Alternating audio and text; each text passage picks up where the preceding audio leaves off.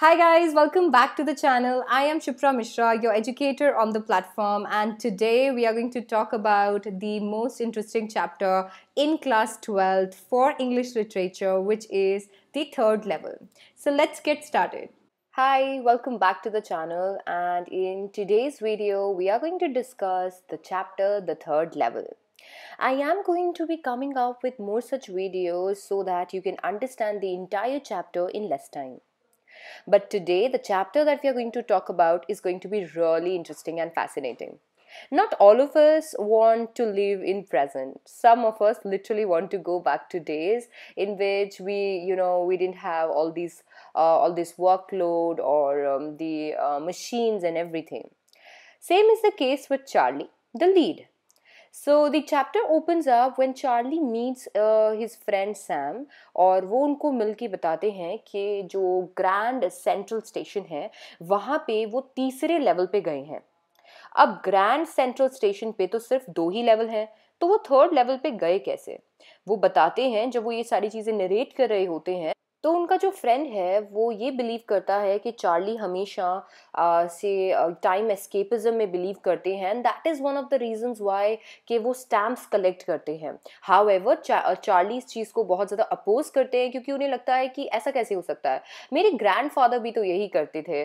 क्या उनको कोई प्रॉब्लम थी कि उन्हें भी टाइम एस्केप करना हो? So he actually justifies this by calling it a hobby mere hobby तो इसके बाद में जब हम लोग ये सारी चीज़ें देखते हैं तो चार्ली हमें चैप्टर में बताते हैं कि ये सारी चीज़ें हुई कैसे and he discusses that one day he was there in his office he was working late and then उन्हें अपने घर जाना था और वो सोच रहे थे कि फटाफट से वो अपनी वाइफ लुइसा के पास पहुँच जाए। वो गए, उन्होंने सोचा कि मुझे बस नहीं लेनी चाहिए, मुझे फटाफट से सबवे से जाना चाहिए, मैं जल्दी पहुँच जाऊँगा। थर्ड लेवल वो पहुँचते हैं। जैसे ही वो थर्ड लेवल जाते हैं सॉरी ग्रैंड सेंट्रल स्टेशन वो पहुँचते हैं और जैसे ही वो वहाँ पहुँचते हैं तो uh, उन्हें हमेशा से ये स्टेशन बहुत ज़्यादा फैसिनेटिंग लगता है। बहुत सारी चीज़ों के बारे में चार्ली पूरे चैप्टर में बताते भी हैं कि कभी वो कहीं से चालू होते हैं और वो कहीं पहुँच जाते हैं। उनका मानना है कि ग्रैंड सेंट्रल स्टेशन एक ऐसे ट्री के जैसा है जो हर दिन एक नई ब्रांच हर दिन एक नया रूट फैलाता है। So he actually uh, is just roaming around and suddenly he reads in, uh, you know he, he reaches to a corridor जो कि बड़ा ही शांत है और उस कॉरिडोर में यू uh, नो बहुत ज़्यादा शांति है एंड एवरीबडी यू नो ऐसा लगता है जैसे वहाँ पे कोई है ही नहीं। ही कीप्स ऑन वॉकिंग और उनको अपने ही शूज़ की आवाज़ आ रही होती है इतनी ज़्यादा शांति होती है। जैसे ही वो उसके एज तक पहुँचते हैं एक अजीब सा कमोशन उन्हें फील होता है और वो कमोशन होता है जिसमें ऐसा होता है ना बहुत सारे लोग बहुत सारे भीड़ वहाँ पे है सब लोग इकट्ठे हैं सब लोग एक दूसरे से बात कर रहे हैं। एग्जैक्टली exactly वैसा ही वहाँ पे भी होता है और आ, आ, उस कमोशन को देख के उस सारी चीज़ों को देख के चार्ली को बड़ा अजीब लगता है। बट अजीब तो तब लगने लगता है जब वो देखते हैं कि पूरा जो स्टेशन है वो एकदम ओल्ड स्कूल है। वहाँ पे उन्हें गैस यू नो लैम्प्स देखने को मिलते हैं। Uh, वो देखते हैं तो टिकट विंडोज़ काफ़ी कम थे। यू नो लोगों के कपड़े जब वो देखते हैं तो उन्हें पता चलता है कि कपड़े तो बड़े ही पुराने हैं ऐसे कपड़े तो हम कभी पहनते ही नहीं हैं। उन्हें मुस्टैचेस देखने को मिलती है जो कि डेफिनेटली इस टाइम पे कोई नहीं रखता।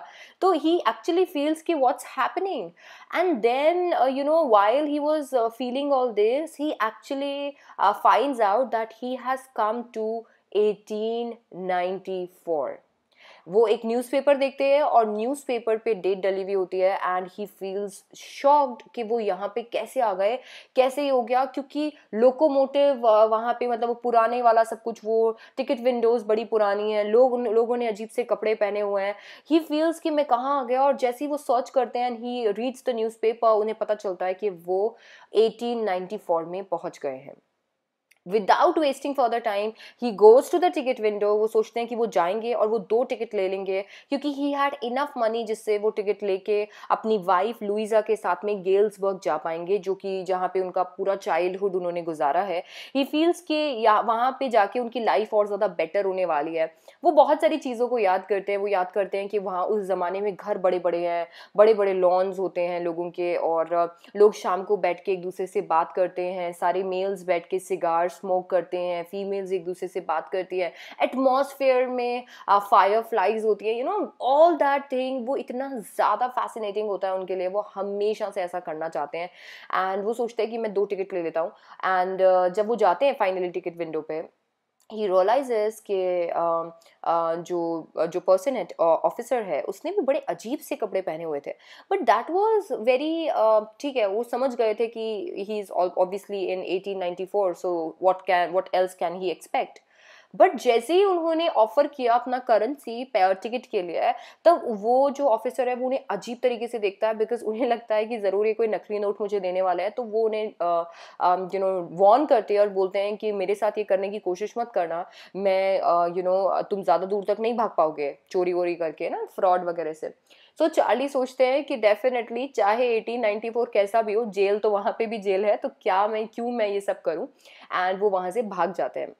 Somehow he finds his way he reaches back home and then he tells everything to his friend now today जब वो ये सारी चीज़ें डिस्कस कर रहे हैं, ये सारी चीज़ें उनको दिमाग में याद आ रही है, उन्होंने सारी चीज़ें डिस्कस की है, अब वो दिन है जिस दिन वो लुइसा को भी ये चीज़ बता देते हैं कि ऐसा ऐसा हुआ था। लुइसा उन्हें बड़ा स्टॉप करने की कोशिश करती है। लुइसा बोलती है कि please don't get involve in to all this Louisa को ऐसा लगता है कि what if something happens to Charlie and what if he actually goes back in eighteen ninety four and she stays back here so she feels very afraid and she actually stops Charlie from you know finding the third level now uh, finally charlie has stopped everything everything is uh, back to normal uh, he has um, you know gone back to his stamp collection and stuff one day something happens which is truly astonishing for charlie and um, you know वो अपने stamp collection को देख रहे होते हैं और stamp collection में उन्हें एक फर्स्ट डे कवर देखने को मिलता है ना, आपके दिमाग में एक क्वेश्चन आएगा, मैम, ये फ़र्स्ट डे कवर होता क्या है?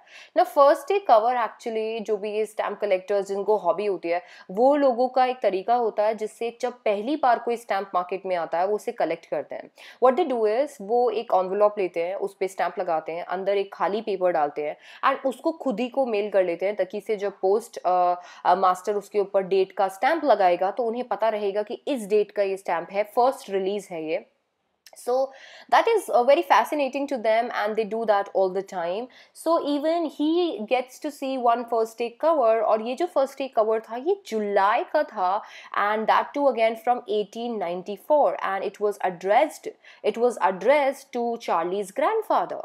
Charlie was so fascinated about his stamp collection that he always used to look at the stamp collection. But today, he notices one first take cover and he notices that this is, um, uh, you know, uh, uh he has never seen this uh, this thing before. So he actually feels कि ठीक है अंदर blank paper होगा but then he out of a very um, you know he was very curious so out of curiosity he actually looks into the envelope and he sees that the letter was there um, you know, sent by Sam. Okay, now Sam is uh, his friend who is missing from so many weeks, and uh, now he gets a letter from him, which is impossible by the way, but uh, you know he gets it, and उसमें Sam ने लिखा था कि Charlie और Luisa तुम अपनी search को बंद मत करना जब तक हो सके तुम सर्च करो अपने इसके थर्ड लेवल के लिए because things here are totally amazing बोला कि मैं ऐसी लाइफ जी रहा हूँ जो मैं कहीं नहीं जी सकता क्योंकि यहाँ पे मुझे इवनिंग में पियानो सुनने को मिल रहा है। I I have been called up for a coffee and everything like that so it actually is very fascinating for Sam because Sam has always been a city boy and he has never seen all these things in uh, like all these things the environment that villages offer. So he's almost um, you know dead by the environment that he's getting there. So he actually urges Charlie to uh, you know not to stop looking for third level now, charlie has his own reason for third level. As i told you before, he thinks कि वहाँ पे life बड़ी अच्छी है. He also thinks कि अभी first world war में twenty years हैं.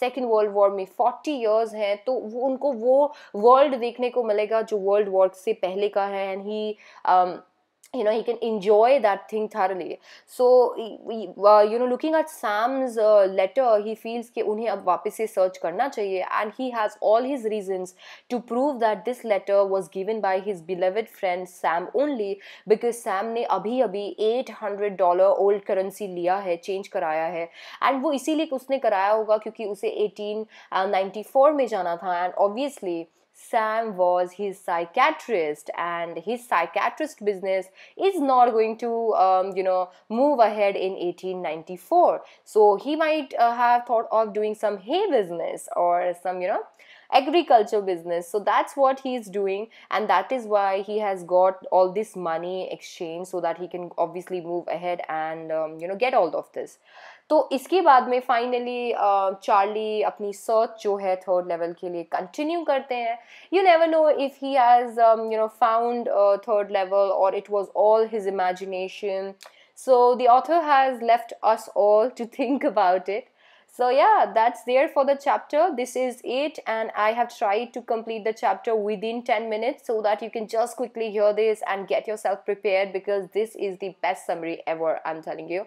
So yeah you can always uh, use my code sdc18 or SDC Live for 10% off on your Plus subscription. I am a Plus educator on Unacademy. I also take some special, those are free classes, so I take them also on um, the platform. So you, if you like the video, please like the video, subscribe to the channel, and yeah, you can always contact me on Unacademy. I'll see you guys next time.